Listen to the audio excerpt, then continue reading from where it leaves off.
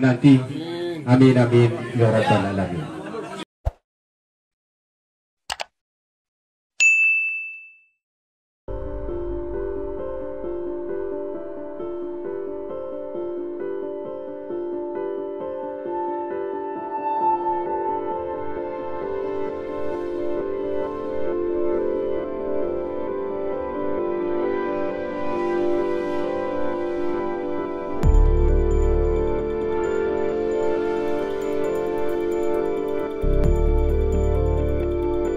Nanti.